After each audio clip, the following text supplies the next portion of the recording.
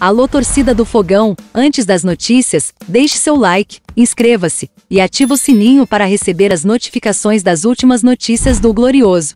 Após a derrota para o Palmeiras por 3 a 1, o técnico Luiz Castro foi questionado sobre a opção de deixar Patrick de Paula até fora do banco, nos dois últimos jogos do Botafogo, e deixou claro que é por opção. O volante está plenamente recuperado da paralisia de Bel e treinando sem limitações. O Patrick de Paula não está convocado porque convocamos sempre os jogadores em função daquilo que foi o último jogo, em função do jogo em si e em função do trabalho semanal. Ele estava lesionado há algum tempo, não se encontrava nas melhores condições, na minha opinião, e não foi relacionado. Em outro momento da entrevista coletivas, Luiz Castro voltou a ser perguntado sobre Patrick de Paula e foi mais firme na resposta. Ele estava aquém dos jogadores que jogam na posição dele. Jogador é um todo. Ou pode jogar, ou não pode jogar, ou pode ter um grande desempenho, ou pode não ter. Não pareceu estar em condições. Enquanto não estiver em condições, não vai para o jogo comigo, só isso, mais nada. Pode estar todo mundo falando do Patrick, do Antônio, do José.